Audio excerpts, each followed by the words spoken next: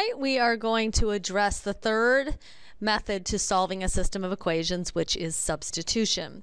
We also have a couple other things that we're going to talk about this evening, such as solving a system of equations with three variables and some terminology. So let's get started. In your packet towards the end, it might even be the last page, is a page that looks like this. And I'd like to just address this so that we can talk about some of the vocabulary that applies to our system of equations. Now, we uh, talked about this when we first started talking about systems of equations with graphing, that there could be one solution, no solution, or infinite solutions. And there are some other kind of terminologies that apply to this as well. And really it's just about learning the words, okay?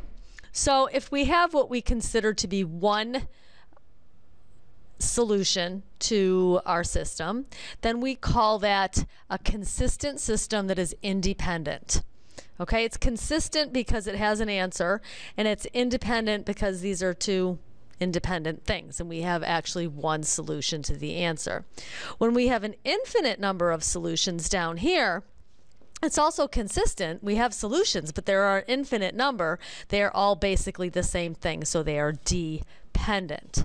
When we do not have a solution, then it is called an inconsistent system. We, there's nothing that satisfies this. We have parallel lines and it's an inconsistent system. Okay? So if you think about it graphically, if the equations have different slopes, basically, and then the system will be independent and the lines will cross at a point. If they have the same slope but different intercepts, so they're parallel lines, it's an inconsistent system and they never cross. If they have the same slope and it's the same intercept, they're basically the same line, so that's a dependent system. From an algebraic per system, Uh, from an algebraic perspective, if you're solving the equation using addition method or elimination or substitution and you find that x and y are both a number, then it's going to be an independent consistent system. Okay, we have a, a solution. If it is a situation where you're going to get 0 equals 3, that is obviously no solution, so that's inconsistent. And if we get the identity, then it's an infinite number of solutions or dependent. Okay? So now we're going to take a look at how this might look graphically with a system of three equations. Now a system of three equations or three variables represents planes, not lines. So if that's the case, then we could have three non-intersecting planes here, and this would be no solution or an inconsistent system. Remember that this might be the equation of a plane, x plus y plus z equals 10. Okay, z is our third dimension. We could also have no solution here. What's happening is um, you have two planes that are intersecting, and you can barely see this one up here. This is kind of flat, not intersecting the other two at the same point. So that's also no solution. Now, when we have solutions, we could either have an infinite number of solutions. They all intersect, forming kind of this line. That's a there's there is an infinite number of solutions there.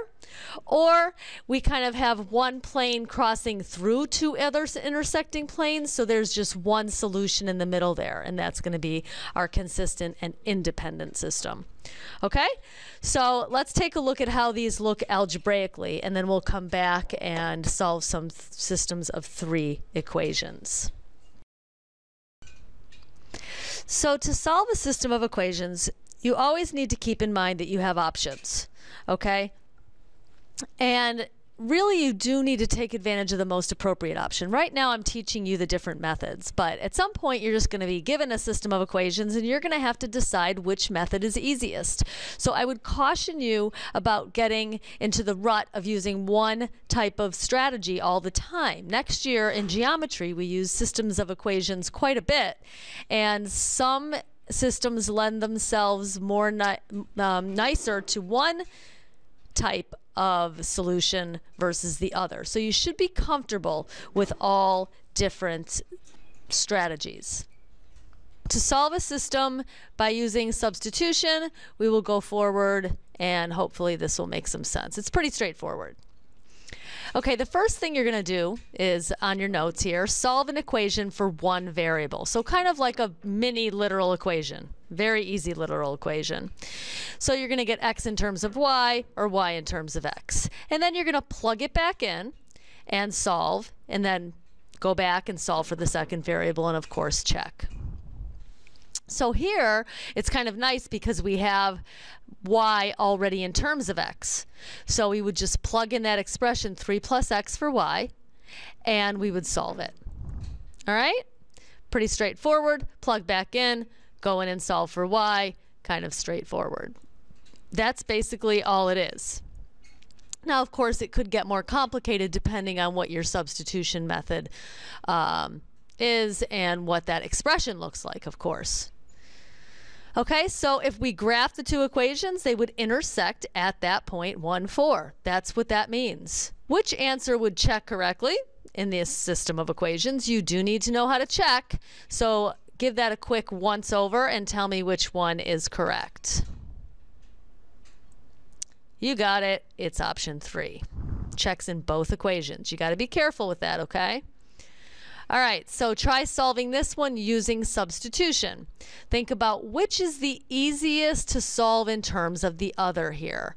Now, there's no wrong answer, but you see x is kind of by itself with no coefficients, so it's pretty easy just to move 3y to the other side, and you get x equals uh, negative 3y plus 7, or 7 minus 3y. It doesn't matter because we are plugging that in for x, and then we are going to solve.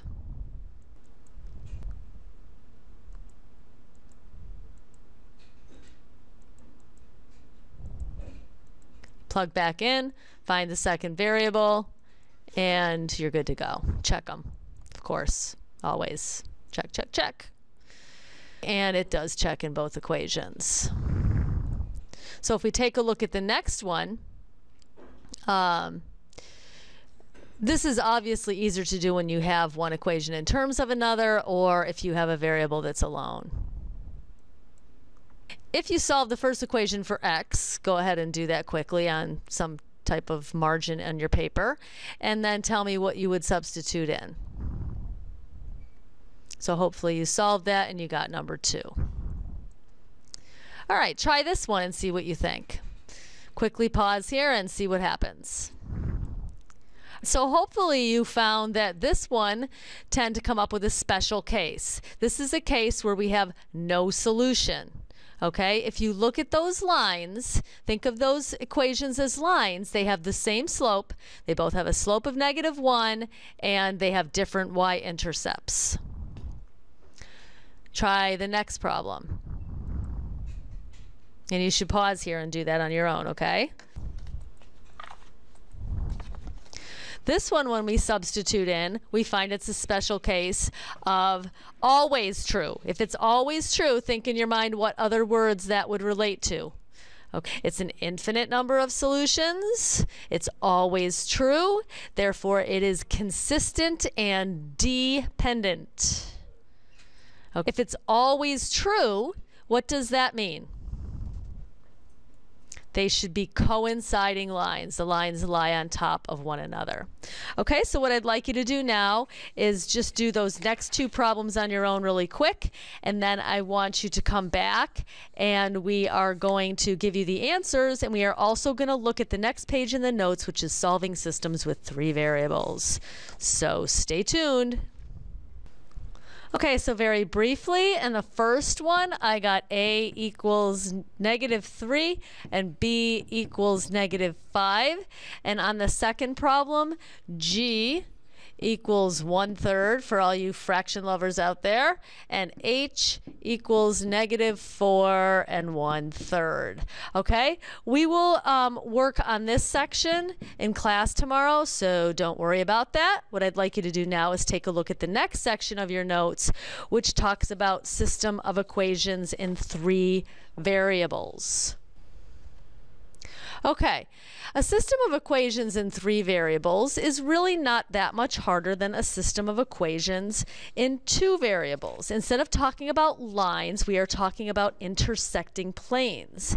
Okay. If you look at the equation right under the heading of the notes, 2x plus 3y plus 4z equals 6 describes a three-dimensional plane. So there can be no solution, one solution, or infinite solutions, as we already saw.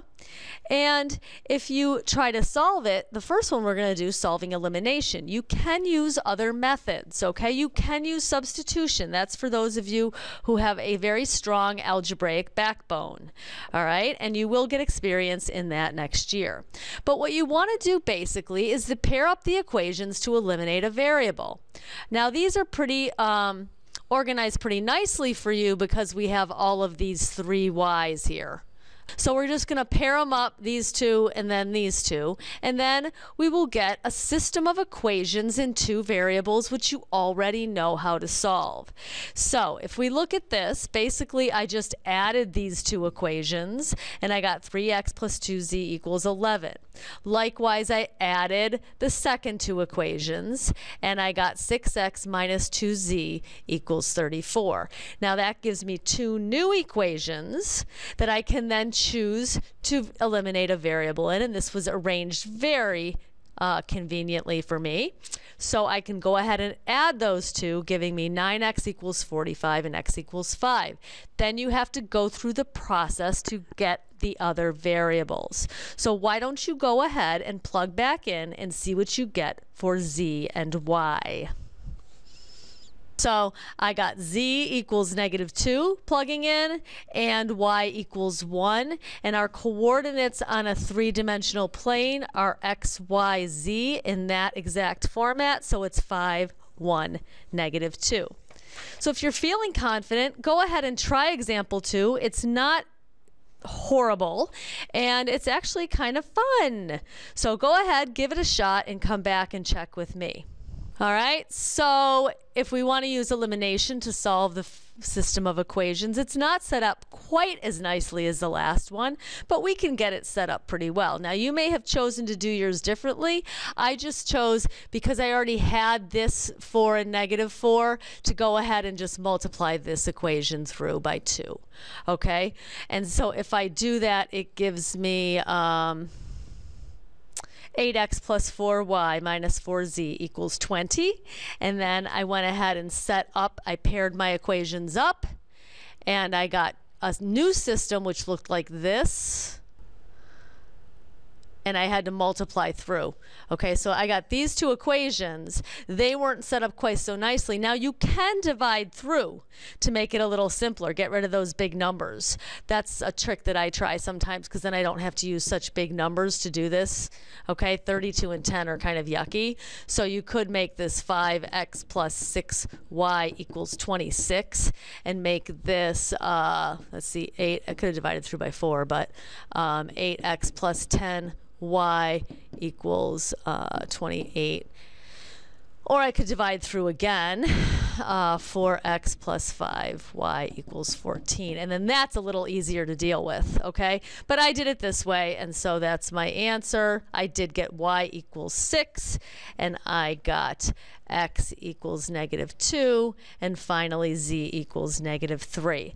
So we will practice this and regular two, system of equations in two variables using substitution tomorrow. Have a great night.